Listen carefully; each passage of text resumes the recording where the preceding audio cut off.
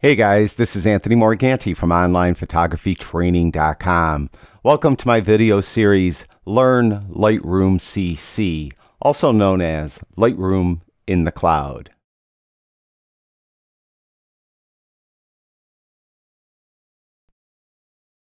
In this video, I want to talk in detail about the Effects tab that's found in the Edit panel of Lightroom CC.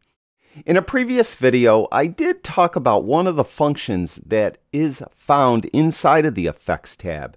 You may remember a couple videos ago I talked about split toning. And if you look inside the Effects tab, to the far right, you'll see this little square. And if you click on that, you'll open up the split toning tab. Now in that video, I went into detail about split toning, but I really didn't talk about any of these other sliders. Now I'd like to talk about those now. Now, the first two sliders, Clarity and Dehaze, in Lightroom Classic CC, are these sliders are found up in the top basic panel. That's because there are a couple sliders that you're probably going to want to do earlier in your workflow. Whereas the other two sliders, vignette and grain, you'd probably want to do later in your workflow. So I question why Adobe put these two sliders in the Effects tab, which is kind of implying that you do these later. Really, I suggest you do Clarity and or Dehaze earlier in your workflow. You'll find out, you'll find that your post-processing will work out better that way. Now, one great thing about Lightroom CC, it has what Adobe calls tooltips. If you just hover over a name of any of the sliders, like I'll hover over clarity, and you'll see this tooltip pops up, and it will tell you exactly what the slider does. It says changes the contrast around the edges of objects in your photo, move left to soften portraits, move right to make landscapes more clear. And that's pretty much exactly how you'd like to use it. Usually in a portrait, you'd like to soften it a little bit, move this slider a little bit to the left. In a landscape, other types of images, maybe macros, you'd like to make it very crisp and clear. Move clarity to the right.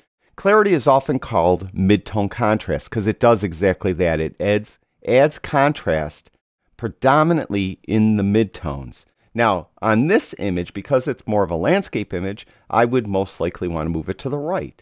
So as I move it to the right, you'll notice that it adds clarity to the image. So moving it to the left, on the other hand, will soften the image and it will give the image more of an ethereal look. So it depends really on what type of look you want. But for this specific image, I would prefer to add clarity by pushing it positive to the right. Now, the dehaze slider below that works great on landscapes when you get a little, you have a little haze in the atmosphere and it doesn't, it's, it's kind of making the background of your landscape not look clear. If that is the case, you would take dehaze and move it to the right. And you can see how it's, it's really increasing the con overall contrast to the image. On the other hand, if you want to add a little bit of artificial haze to your image, you would take dehaze and move it to the left. Now, one thing you have to be aware of with dehaze, if you move it to the right and you move it too far, you'll start to clip some of the colors. Now, a handy thing about dehaze in Lightroom CC is you could see this by holding in your Alt or Option key while you adjust the dehaze slider. It's Alt if you have a PC, Option if you have a Mac. Hold that in, then when you click on the dehaze slider, you'll see the screen turns white. Now as I move it to the right, you're going to see some colors come through. You'll see I'll be clipping green, the green channel. I'm starting to clip some of the blue channel. Um, wherever it's black, I'm clipping all three channels. Where it's gray, I'm picking, I'm clipping two of the three channels, the three channels being red, green, or blue. So typically you might not want to clip your channels too much.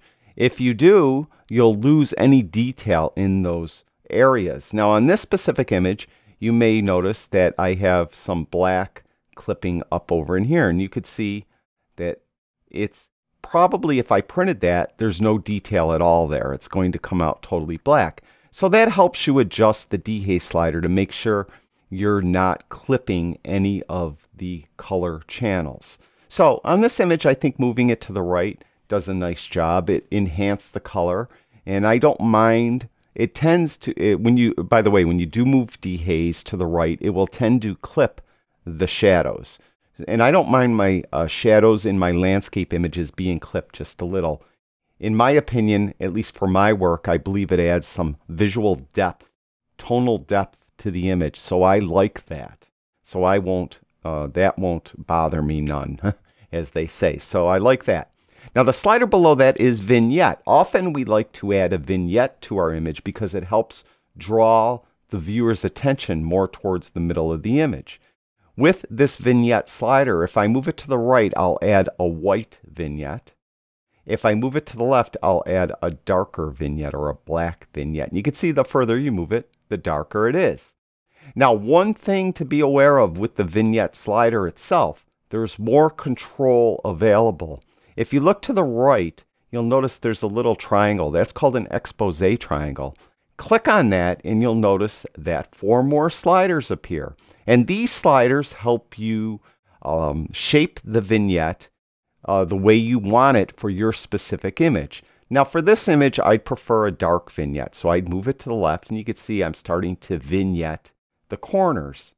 Now this, I'm going to leave it heavier than I probably normally would apply one because I want to demonstrate these other uh, sliders. Midpoint is where the midpoint of the vignette is. Now one little handy tip I could give you whenever you adjust the midpoint, midpoint roundness or feather sliders, hold in the Alt or Option key when you do it. It's Alt if you have a PC, Option if you have a Mac.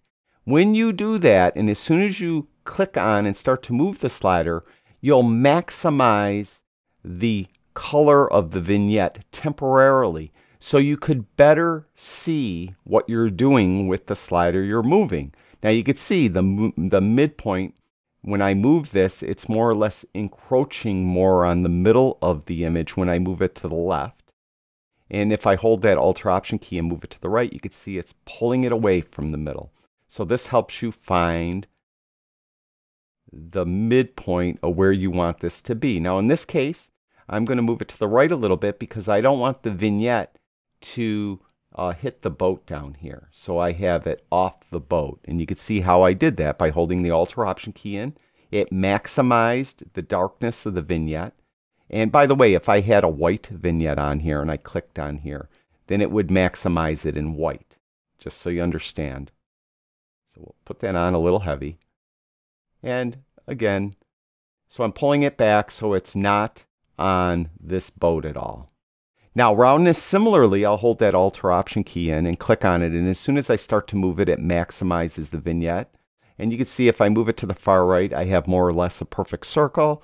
And if I move it to the left, it's just really in the corners and it's more of a rectangle. Of course, if you're working with a square image, it would be a square.